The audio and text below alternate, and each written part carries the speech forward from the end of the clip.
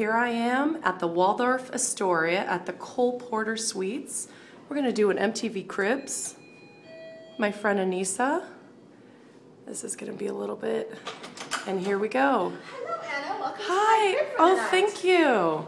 So we're doing a little suite. We're gonna start with this is the kitchen.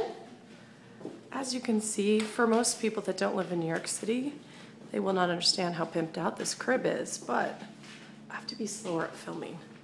Always want to go fast. You can see this used to be Cole Porter's private residence.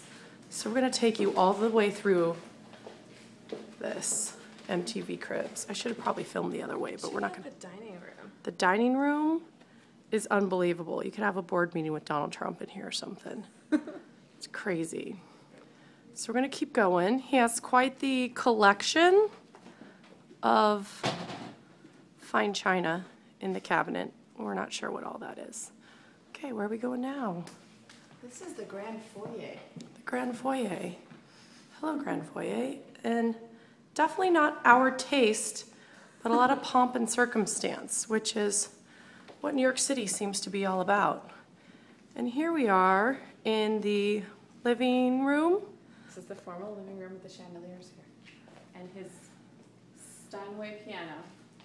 And this is Cole Porter. If you're wondering who's Cole Porter, he's a famous lyricist and pianist, And playwright playwright from the 1930s. from the 1930s. Many of you were not alive then, so it's okay if you didn't understand that, but I had to Google it too.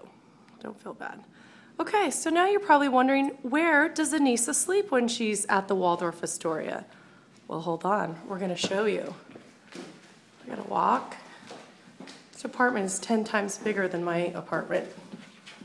Okay, here we are. Hopefully this works. This is her bedroom.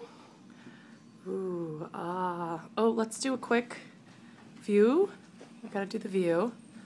Hello, New York! St. Pat's Cathedral over there. And that's one of our four Bryant Park.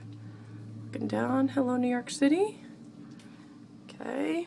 I might be doing this too fast. I always forget to slow down. That'd be dizzy. Okay. And this is the bathroom. That's just a mirror. That's not very exciting. Anissa takes her baths in this gold plated um, faucet tub. There's a nice shower, a little too close to see that. Okay, hello. And that's the end. So, Anissa, say bye. Bye. Hope Thanks you enjoyed my Thanks crib. for visiting my crib. Woo! Goodbye, New York. Goodbye from New York City. Love ya.